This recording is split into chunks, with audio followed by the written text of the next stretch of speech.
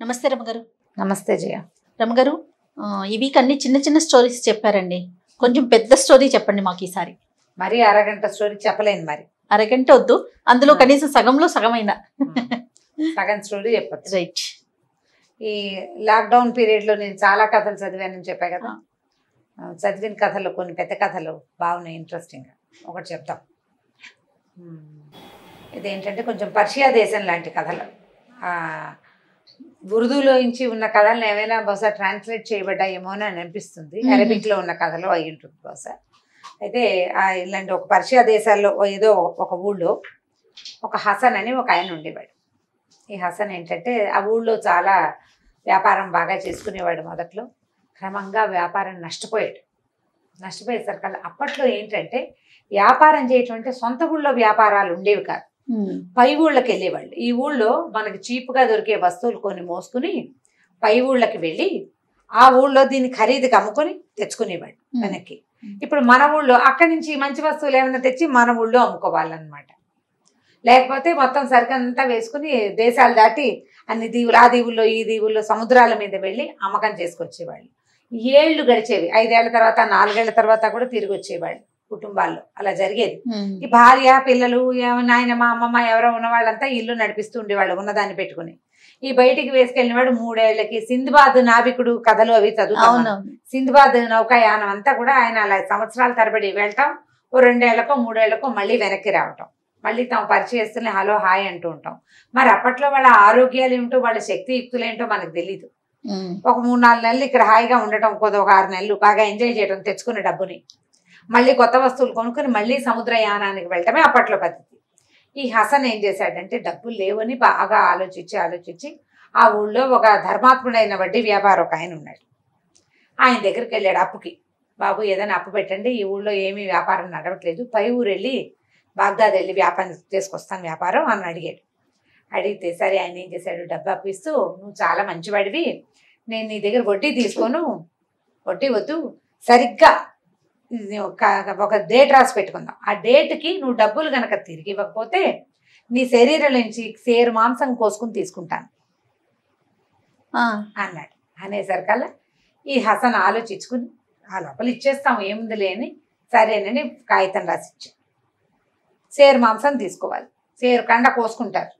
కోసుకుని వాడికి వేయించు తింటాడా ఏం చేస్తాడో మనకు తెలియదు అడిగాడు అంతే.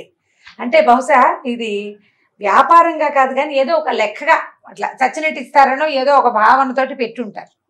ఇలా అయ్యింది. అయిన తర్వాత ఏం చేశాడు? హసన్ డబ్బులు పుచ్చుకుని ఇంటికి వచ్చాడు భార్యకి చెప్పాడు ఏమే నేను పై ఊరు వెళ్ళి వ్యాపారం చేసుకొస్తాను. పిల్ల జల్ల ఇల్లు బాకిలి జాగ్రత్తగా చూసుకో అని చెప్పి చెప్పేసి వెళ్ళిపోయాడు.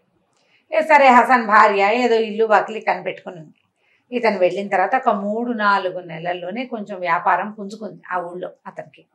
సరే అప్పుడు కాస్త అప్పుడు కాస్త చొప్పున ఏవో డబ్బులు కూడబెట్టాడు. ఒక మూడు నెలల్లో తను తిరిగి వస్తాడనగా అప్పుడు వంద నాణేలు ఎంతో తెచ్చుకున్నాడు బంగారు నాణేలు. ఆ బంగారు వంద బంగారు నాణ్యాలు భార్యకి పంపించి ఫలానా వ్యాపారస్తుడి దగ్గర అప్పు తీసుకున్నాము ఆ డబ్బు అతనికి ఇచ్చేసేయి అని కాగితం రాసి పంపించాడు. అప్పట్లో ఎలా వచ్చేవి? అంచెటపాలు వాటి మీద వచ్చేవి. లేదా ఆ ఊరు వస్తున్న వాళ్ళు ఎవరికో అప్పచెప్పేవాళ్ళు. నమ్మకం మీదే జరిగేవి ఈ పనులన్నీ. మనీ ఆర్డర్ లాంటిదే. ఈ డబ్బులు మా ఆవిడకి ఇవ్వు ఈ ఉత్తరం ఇవ్వు అంటే పట్టుకొచ్చి ఇచ్చేవాడు. పట్టుకొచ్చి ఇచ్చారు ఈవిడ చూసుకుంది ఉత్తరం. వ్యాపారస్తుడికి డబ్బులు ఇచ్చేయమని ఉంది ఇవ్వచ్చులే మూడు నెలలు పోయాక ఎలాగో వస్తానని రాశాడు. తను వచ్చినప్పుడు ఇస్తాడు అని అనుకుని ఆవిడ ఏం చేస్తుంది? చుట్టుపక్కల ఉన్న చేబదుళ్ళు అవి ఇవి తీర్చేసింది. ఇంట్లో ఖర్చులకి వాడేసుకుంది. ఆ మూడు నెలలు తర్వాత ఏడాది తిరిగేసరికల్లా హసను మళ్ళీ వెనక్కి ఇంటికి బయలుదేరాడు. భార్య పిల్లల్ని చూసుకోవడానికి. ఈ బయలుదేరే దారిలో ఏమైంది? అతను పడవ దిగి కొంత దూరం నడిచి కొంత దూరం బళ్ళెక్కి అలా రావాలి. ఎక్కడో ఒక చోట ఒక దొంగల బారిన పడ్డాడు. ఓ. ఆ దొంగలు కాస్త ఇతను ఇంకా కొంత సంపాదించి తెచ్చుకుంటున్నాడు. మొత్తం డబ్బులని ఊడ్చిపెట్టేశారు వాళ్ళు పట్టుకెళ్ళిపోయారు. కట్టు బట్టలతో మిగిలాడు హసన్. అతని దగ్గర సంపాదించుకొస్తున్నది లేదు తెచ్చుకున్న సరి కొంత సరికి ఏదో కొద్దిగా తెచ్చాడు. అక్కడి నుంచి సరదాగా మంచి వస్తువులు అవి కూడా పోయినాయి. అంటే అవి తెచ్చుకుని ఇక్కడ వ్యాపారం చేసుకుందాం అనుకున్నాడు. చిన్నది. మన ఊళ్ళో సొంత ఊళ్ళో. పెద్దకు పది రూపాయలకి అమ్ముకున్నా పర్వాలేదు ఆ పది మిగులుతుందని ఊహించాడు. ఏమీ మిగలకుండా ఒట్టి కట్టు బట్టలతోటి మిగిలాడు. ఉమ్. సరే ఏదో దుఃఖించి పోనీలే అప్పు ఎలాగో తీరిపోయింది. డబ్బులు పంపేశాం కదా అని అనుకొని ఇంటికి వచ్చాడు ఇంటికి వచ్చేసరికి అలా సరే భార్యకి జరిగిందంతా చెప్పాడు. ఎలాగో అప్పు తీరిపోయింది పర్వాలేదంటే అప్ప ఏం అప్పు ఎక్కడ తీర్చాను నేను? నేను తీర్చలేదు నువ్వు వచ్చి తీరుస్తావని నేను వాడేశానంది. ఇది గుండె మంది ఓ నాయన ఆయనకి రాసిన డేట్ ఏమో దాటిపోయింది. ఏమంటాడో ఇప్పుడని వెళ్ళాడు వ్యాపారస్తుడి దగ్గరికి. వెళ్ళేసరికల్లా వ్యాపారస్తుడు అన్నాడు డేట్ దాటిపోయింది సేరు మాంసం ఇచ్చి కదులు. చేతిలో కోసుకోమంటావా కాలు మీద కోసుకోమంటావా? చెప్పు నీ సేరు మాంసం నాకు కావాల్సిందేనన్నాడు ఈయన అన్నాడు బాబు ఏదో ఒక డేట్ ఇంకొక డేట్ ఇవ్వు. మాంసం కోసుకుంటానంటే నేనేం పని చేసుకుంటానయ్యా బక్కవాడిని నువ్వు ఇంకొక దారి చూపించమంటే. కాదు సచ్చినా కుదరదు నువ్వు ఎందుకు రాసావు ముందు కాగితం? అప్పుడే ఆలోచించుకోవాలి కదా. వాళ్ళు ఆలోచించాలి. ఆ రోజు ఆలోచించుకోండి. సంతకం పెట్టావు పెద్ద పోటుగాళ్ళలాగా కాదయ్యా ఇలా జరిగింది. నేను వచ్చేటప్పుడు దొంగతనం జరిగింది. డబ్బులన్నీ పోయినాయి. నా భార్య పొరపాటుని ఇలా వాడేసంటే నువ్వు మీ ఆవిడ గంగలో దూకండి. నాకు అక్కర్లేదు. నేను కాగితం మీద ఏం రాశానో అదే చేస్తా. సేర్ మాంసం తీసుకోమన్నావు పట్టు అన్నాడు. అనేసరికి ఇంకేం పట్టు? ఇతను లబోదిబోమన్నాడు సరే వ్యాపారస్తుడు అన్నాడు ఆయన వడ్డీ వ్యాపారం అన్నాడు కదా. ఏమయ్యా నువ్వేదో ధర్మాత్ముడివి మంచివాడివి బుద్ధిమంతుడివి అని డబ్బులు అప్పిస్తే ఇప్పుడు డబ్బులు ఎగట్టి నాకు ఇస్తానన్న సేర్ మాంసం ఎగ్గొడతావా? అద కాజీ దగ్గరికి వెళ్ళి నీ సంగతి తేలుస్తానన్నాడు వీళ్ళు ఉన్నది ఒక చిన్న టౌన్. ఈ ఊళ్ళో కోర్టు లేదు. కాజీలు ఎక్కడ ఉంటారు? పెద్ద కోట్లలో ఉంటారు. వీళ్ళకి సమీపంలో ఒక నగరం ఉంది. ఆ నగరంలో కాజీ గారు ఉంటాడు. అక్కడికి వెళ్ళాలి. సరే కాజీ దగ్గరికి వెళ్దాం అనుకున్నారు.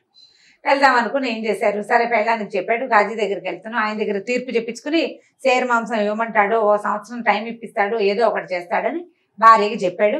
సరే ఇద్దరు కలిసి వెళ్ళారు. అదేం ఒక పూటలో ఒక గంటలో చేరిపోయేది కాదు. బాగా నడిచి నడిచి పోవాలి. వీళ్ళు నడిచి వెళ్తుంటే ఏమైంది? ఒకడు ఒక గాడిదని తరుముకుంటూ కంచర్ గాడిదని తరుముకుంటూ వస్తున్నాడు. అదేమైంది? కట్టుకొయ్యకి కట్టేసిన కంచర్ గాడిద కట్టుకొయ్యని లాక్కుని పరిగెత్తేస్తుంది. పరిగెత్తేస్తుంటే అది ముందు వెళ్ళిపోతుంది వెనకాల దానికోసం వస్తున్నాడు కదా వాడు వెనకాల వస్తున్నాడు. ఆ వెనకాల వాడు బాబాబు దాన్ని పట్టుకోండి దాన్ని పట్టుకోండి అని అరిచాడు. ఆ గాడిదని వీళ్ళు పట్టుకోలేకపోయారు. ఈ హసన్ ఏం చేశాడు? కింద నుంచి ఓ రాయి తీసి ఎత్తి ఆ గాడిదని కొట్టాడు. కొట్టేది అంటే దెబ్బ తగిలితే ఆగుతుంది అనుకున్నాడు. దెబ్బ తగిలింది అది ఆగింది. కానీ ఏమైంది? కంచరగాడి తాలూకు కుడి కంటికి తగిలింది కను కాస్త గుడికని అయిపోయింది దాన్ని. అయ్యో. కనిపోయింది. అది లబోదిబోమని అరుస్తుంది గోట్లు ఏమవుతుంది? కంటి తగిలేసరికి నెత్తురు గారిపోతుంది. అది నుంచుంది కీసర బాసరగా ఏడ్చేస్తూ. అందరూ పరిగెత్తుకొచ్చారు. తీరా చూస్తే కన్ను కాస్త పోయింది. అది కన్ను ఏం కనపట్లా నెత్తురు గారిపోతుంది. అనేసరికి ఇది అయ్యేసరికల్లా ఆ కంచర్ గాడిద ఓనర్ అన్నాడు. అవురవరా? నా గాడిదని పట్టుకోమంటే మాత్రం నువ్వు ఇంత గడరా వేసి దాన్ని కొడతావా? దాన్ని కన్ను పోగొట్టావు? కక్కు నా డబ్బులని. ఇప్పుడు కక్కాలంటే ఎక్కడి నుంచి? నా గాడిద వెయ్యి వెయ్యి వరహాలు చేస్తుంది. ఇవ్వు నా వెయ్యి వరహాలు నాకంటాడు. వెయ్యి వరహాలు ఆ కంచర్ గడిదా అదెక్కడి నుంచి వచ్చాను? అంత కాకపోతే ఏడు వందల యాభై అయినాయి ఓ కన్ను పోయింది కాబట్టి ఏడు వందల యాభై అయినా ఇవ్వమంటాడు.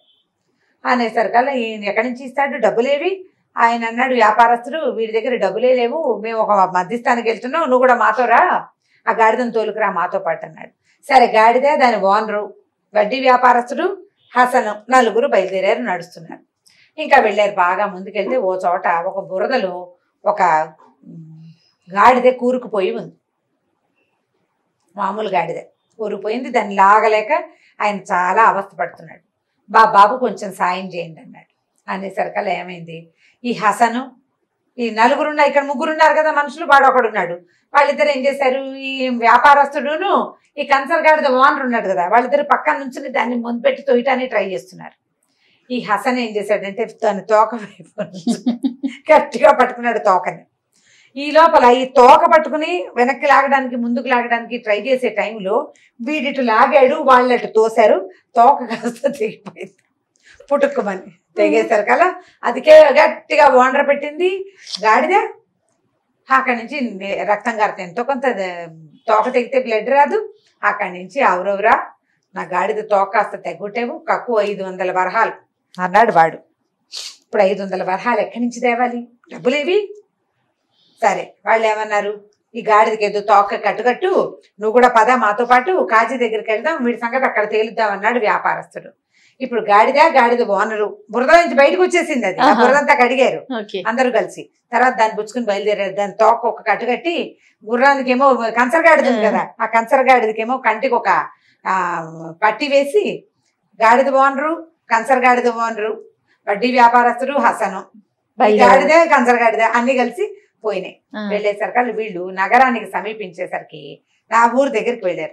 ఆ ఊరికి దగ్గరలో ఒక పెద్ద మసీదు ఉంది. ఊళ్ళో ఉండేసరికి ఆ మసీదులో జనాలు కేరింతలు కొడుతూ జూదం ఆడుతున్నారు. వీళ్ళు తెల్లబోయేది ఏమిటి మసీదులో ఇలా ఆడుతున్నారు?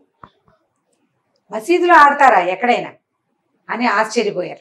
చూస్తున్నారు. చాలా మంది జనం చేరారు మసీద్ దగ్గర. సరే అది దాటుకుని ఇంకా కొంచెం ముందుకెళ్ళారు. ముందుకెళ్తే ఒక ఆయన గుర్రం మీద వస్తున్నాడు. ఆయన ఎవరంటే ఒక ప్రభుత్వ ఏమంటారు అధికారి గవర్నమెంట్ ఆఫీసర్. ఆయన తాగేసి ఉన్నాడు ఫుల్గా ఆ పక్కకి ఈ పక్కకి పడిపోతుంటే ఆ పక్కన ఉన్న సైనికులు ఆయన మధ్యలో బాగా కూర్చోబెడుతున్నారు. ప్రభుత్వాధికారులు తాగేసి పడిపోతారా రోడ్ల మీద? ఇళ్ళలో తాగేసి పడిపోతే వాళ్ళ కర్మ. రోడ్డు మీదకి వచ్చాక జనమంతా చూస్తారు కదా. దాంతో అదొకటి చూసుకుంటూ వెళ్ళారు. ఏమిటి ఈయన? ఇలా ఇలా తాగేసి ఉన్నాడు గవర్నమెంట్ ఆఫీసర్లు తాగచ్చా? డ్యూటీలో ఉండి అసలు తాగకూడదు ఆయనకి డఫేదారు వాళ్ళు వీళ్ళు ఉన్నారు పక్కన. ఆయన ఒక్కడు వెళ్ళటల్లా ఆయనకు ముందు కొంతమంది సైనికులు నడుస్తున్నారు బల్లేలు పట్టుకుని. ఆయనకు అటు ఇటు ఉన్నారు. ఆయన వెనకాల కూడా కొంత జనం ఉన్నారు. మంది మార్బలంతో వెళ్తున్నవాడు ఏదో డ్యూటీ మీద వెళ్తున్నా. On duty. ఆన్ డ్యూటీ తాగొచ్చు? తాగకూడదు కదా. ఆశ్చర్యంగా చూస్తున్నారు. సరే ఇంకా కొంచెం ముందుకెళ్తే ఒక సేవయాత్ర జరుగుతోంది. ఒక ఒకడిని పాడి మీద మోసుకుపోతున్నారు.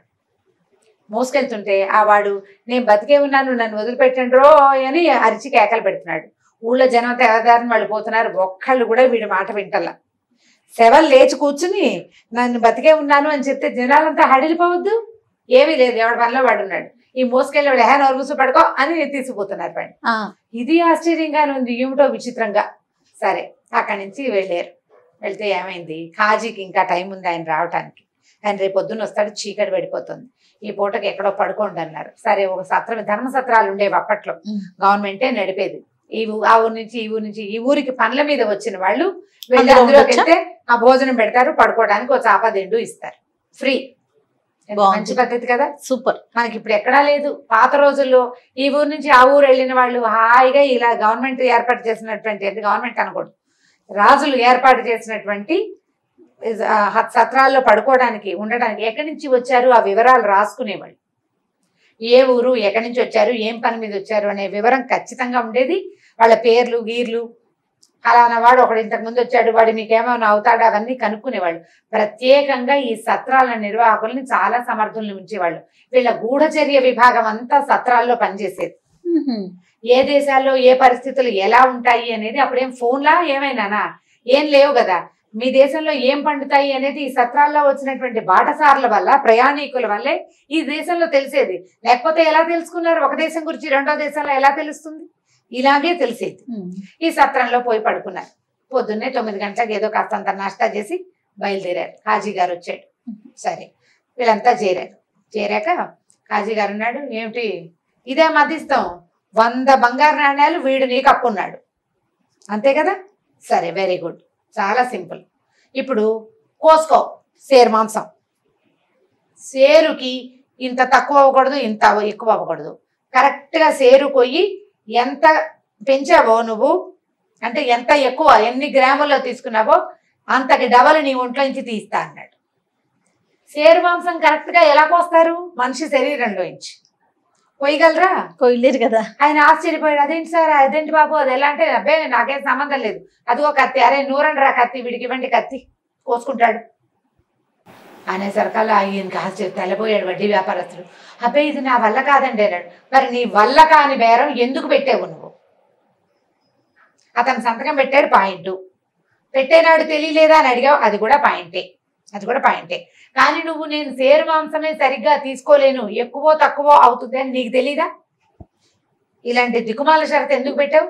ఈ షరతు పెట్టినందుకు. ఇతన్ని ఇక్కడ దాకా తీసుకొచ్చినందుకు. కట్టు రెండు వందలు నువ్వే. రెండు వందలు ఇవ్వు. ఆ పెద్ద మనిషిని నువ్వు బాధ పెట్టావు అవమానించావు. సేరు మాంసం తన ఇంట్లో ఒంట్లో నుంచి కోసుకుంటారంటే వాడికి ఎంత భయం వేసింది? ఎంత కంగారు పడ్డాడు? వాడి ఇంట్లో వాళ్ళు ఎంత క్షోభపడ్డారు? దాని అంతటికీ నువ్వు సమాధానం చెప్పద్దు? నాకు రెండు వందలు వాడికి రెండు వందలు అన్నాడు కాజీ. ఇప్పుడు నీ మధ్యస్థం కోసం కూర్చున్నాను నేను. నువ్వు మాట్లాడడానికి ఇప్పుడు నాకు డబ్బు ఎక్కడి నుంచి వస్తుంది? నీ కోసం పొద్దునే తొమ్మిది గంటలకు తీర్పు ఇవ్వడానికి కూర్చుంటే పనిమాల ఇది ఈ తొక్కలో దానికి తీర్పు ఒకటే. కట్టు మాకో రెండు వందలు వాడికో రెండు వందలు అన్నారు. ఈ వ్యాపారస్తులు ఏమీ చేయలేక ఇంకే కాజీ గారికి ఎదురెళ్తే ఏముంది? ఆ కత్తి ఒక పదును పెడతారు కదా అది తన పీక మీదకి వస్తుంది. అందుకని నోరు మూసుకుని రెండు వందలు కాజీ గారి చేతిలో పెట్టి రెండు వందలు ఈ హసన్ చేతిలో పెట్టి పక్క తప్పుకున్నాడు. రెండోది ఏమైంది? గాడిద. కంచర గాడిద. కన్సర్ గాడిద కన్ను పోయింది. కన్ను పోయింది. అయితే ఇప్పుడు కాదండి కన్సర్ గాడిద వెయ్యి నాణ్యాలు చేస్తుంది. ఏడు వందల యాభై నాణ్యాలు ఇమ్మనండి చాలు అని రెండో ఆయన చెప్పాడు. దానికి ఇంత డబ్బులు ఎందుకు? కన్సర్ గాడిద ఉంది కదా కత్తికి పదును పెడుతున్నారు దీన్ని అడ్డంగా కోసేద్దాము. గుడ్డి కన్ను భాగం ఆయనకి ఇచ్చేయి. కన్నున్న భాగాన్ని నువ్వు వాడుకో. సరిపోతుంది. అనేసరికి తెల్లబడి అయ్యా కోసేస్తే కన్ను పోతుంది కదండి అన్నాడు. కోసేస్తే కన్ను కాదు గాడిదే పోతుంది కదండి. పోతే పోతే పోతుంది. పోతే పోతుంది. ఆయన పాడు చేసిన భాగం ఆయనకే ఇచ్చి. ఐదు వందల నాణ్యాలు ఇప్పించేస్తా నీకు సగానికి కావాలంటే. నువ్వు వెయ్యి నాణ్యాలు అన్నావు. నీ గాడిద ఖరీదు ఎంత? కంచర గాడిద? వెయ్యి. నీకు ఫిఫ్టీ పర్సెంట్ నేను ఇప్పిస్తా ఆయనతోటి. సగం కోసి ఇచ్చి అనేసరికి వాడు తెల్లబోయాడు. అయ్యో కాదండి గాడి చచ్చిపోతుంది వృధాగానంటే అయితే నీ గాడిద నువ్వే ఉంచుకో. కన్నుపోతే నీకు వెయ్యి ఇవ్వాలా? ఆయన ఇక్కడ అక్కడి నుంచి ఇక్కడికి వచ్చావా? కట్ట ఐదు వందలు. ఐదు వందలు ఇచ్చి నీ గాడిదని తీసుకెళ్ళి అన్నారు అనేసరికి అలా ఏం చేస్తాడు? సరేనన్నాడు అన్నాడు. రెండు వందల యాభై కాజీకి రెండు వందల యాభై రూపాయలు హసన్కి ఇచ్చి కన్సర్ గాడిద వాడు కూడా వెళ్ళిపోయాడు. సరే మూడో గాడిద ఆయన వచ్చాడు. నా తోక గాడిద తోక తెంపేశాడంటే ఈయన అన్నాడు. తెంపేశాడా? గాడిద తోక తెంపాడా? సరే ఓకే. ఏది అటు ఇటు చూశాడు. ఆయన ఒక గాడిదని ఎక్కి వచ్చాడు. అక్కడ ఆ ఊళ్ళలో గాడిదలు కన్సర్ గాడిదలని ఎక్కుతారు. అరే దాన్నిటి కట్టేయండి రా అన్నాడు. ఆ గాడిదని తెచ్చి కట్టారు. కట్టాక ఈ గాడి తోక తెంపు నువ్వు. నువ్వు తెంపు చూద్దాం. ఈ గాడి తోక ట్రై చేయమన్నాడు. ఈయన వెళ్ళి గాడి తోక పట్టుకోగానే అది ఎగిరి వెనకాలతో పెడే వెళ్ళమని తన్నింది. పడ్డాడు దూరంగా. మళ్ళీ ట్రై చేయమన్నాడు కాజీ. నేను ట్రై చేయను అంటే చంపేస్తారు వాళ్ళు. ట్రై చేయాల్సిందే. మూడు సార్లు గాడితోటి ఎగిసి తన్నించుకున్న తర్వాత ఆయన దండం పెట్టేశాడు. నా వల్ల కాదండి అన్నాడు. అయితే నువ్వు గాడిద తోక తెగిపోతే నీకు సహాయం చేయడానికి పూనుకున్నాడు. పొరపాటున గాడి తోక తెగింది. పది రూపాయలు అడుగుతావు పావలు అడుగుతావు గాడి తోక రిపేర్ చేయించుకోవడానికి అంటే దానికి పలాస్త్రి పట్టి వేయించడానికి ఓ పది రూపాయలు అడగాలి. అంతేగాని గాడి ఐదు వందలు ఇమ్మంటావా? ఆ ఐదు వందలు కక్కి వెళ్ళమన్నాడు ఆయన. ఓ. ఐదు వందలు కట్టించారు వీటితోటి కూడా. కాజీకి ఐదు వందలు రెండు వందల యాభై హసన్కి రెండు వందల యాభై.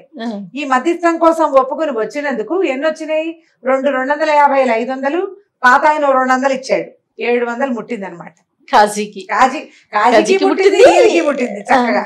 అక్కడి నుంచి వీళ్ళంతా ఇదేం దిక్కుమాల తీర్పులు రా నాయన? అనవసరంగా ఈ కాజీ చచ్చిన వాడి దగ్గరికి వచ్చాం ఇంకెప్పుడు రాకూడదు అని వాళ్ళంతా పోయారు. ఈ హసన్ని దగ్గర కూర్చోబెట్టుకున్నాడు. ఏమయ్యా ఇలాంటి బేరానికి ఒప్పుకున్నావు? తెలివి తక్కువగా. ఆయన సంతకం పెట్టమన్నాడు అనుకో నువ్వు కాదండి అని చెప్పు ఉండాల్సింది. అంటే కాదండి ఏడాది లోపల తీర్చేద్దాం అనుకున్నాను. డబ్బులు పంపాను. నా భార్య ఇట్లా ఈ పని చేసింది. ఆడవాళ్ళు అలాగే చేస్తారన్నాడు. అప్పుడు ఇతను గుర్తొచ్చింది. ఇవాళ మేము నిన్న మేము ఇక్కడికి వచ్చేటప్పుడు దారిలో మూడు విచిత్రమైన విషయాలు చూసామండి. ఒక ఆయన ప్రభుత్వాధికారి తాగేసి తూలిపోతున్నాడు. అదేమిటండి ప్రభుత్వాధికారి ఆ పని చేస్తే ఎలాగంటే అదే ఆయన ఏంటంటే సారాయి దుకాణాలు ఉన్నాయి ఊళ్ళో. మద్యం దుకాణాలు ఉన్నాయి. ఈ మద్యం దుకాణాల్లో రకరకాల మందులు కలిపేస్తున్నారు మొత్తెక్కడానికి. అంటే కల్తీ జరుగుతోంది. ఈయన టెస్ట్ చేసే అధికారి అనమాట ప్రతి చోట తల ఇంత పుచ్చుకోవాలా.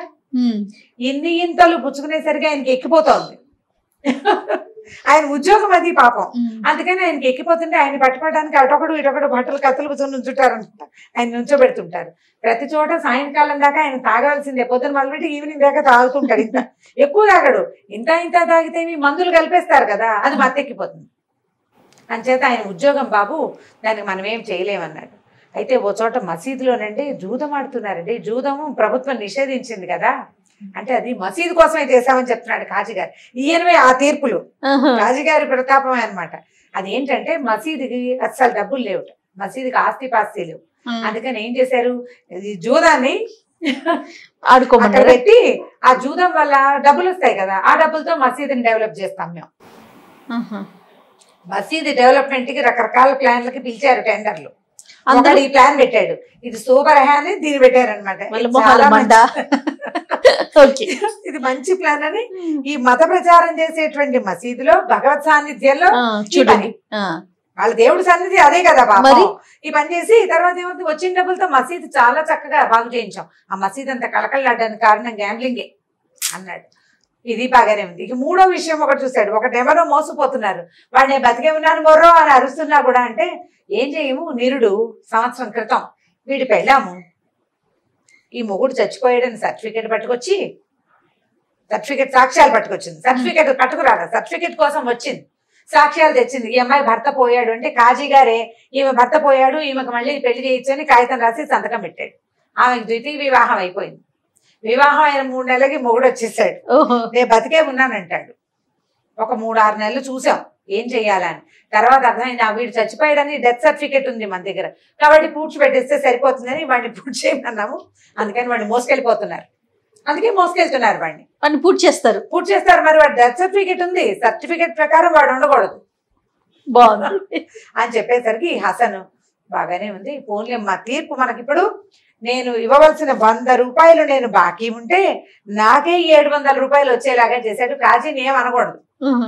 కాకపోతే ఇక్కడే ఉంటే ఈ ఏడు వందలకి తిరుక్షేపం చేస్తాడేమో అని అనుమానం వచ్చింది హసన్కి ఆయనకు దండం పెట్టి వెళ్ళొస్తానండి అని చెప్పేసి గబగబా ఇంటికి వచ్చేసాడు. వచ్చాక వ్యాపారస్తుడికి వంద రూపాయలు మాత్రం తీర్చేశాడు.